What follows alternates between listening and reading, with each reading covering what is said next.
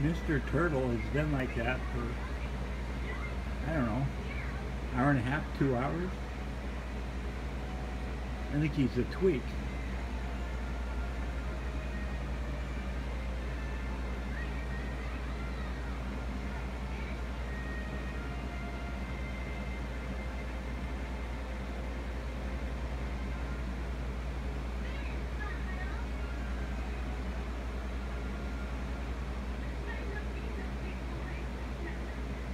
Mirror, mirror on the floor.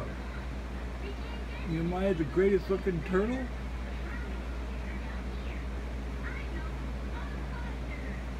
Huh?